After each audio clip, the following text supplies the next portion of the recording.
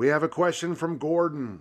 Gordon says, I'm 52 years old and I've been lifting weights since I was 12. Well, take a day off.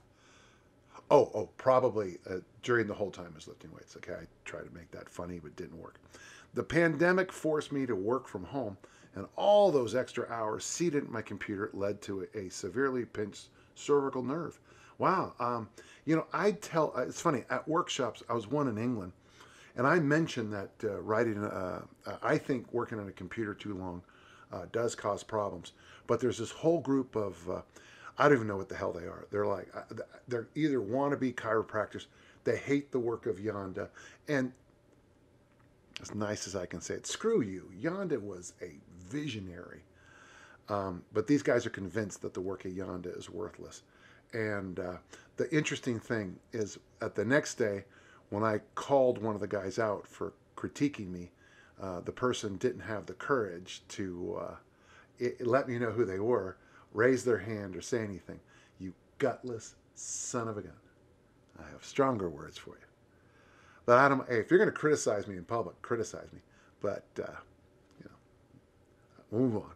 For five weeks, the only resistance training that I could do was strap a belt around my waist and drag a weighted sled forwards and backwards, combined with 30 seconds hangs from the chin up bar.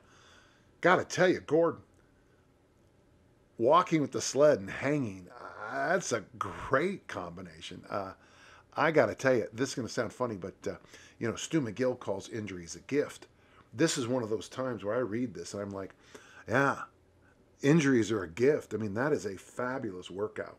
Um, I, can, I'm not, I haven't read on yet, but I can tell you this good things happen because you did what you could do. And number two, you, you had two good options walking with a sled and hanging. To my great surprise, I did not lose any lean body mass over that five week period. If anything, my overall body composition actually improved.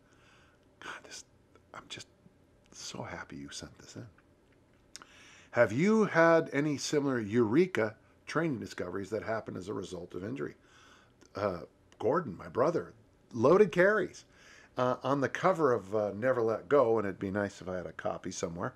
Uh, I think I have one. I think there's somewhere out there.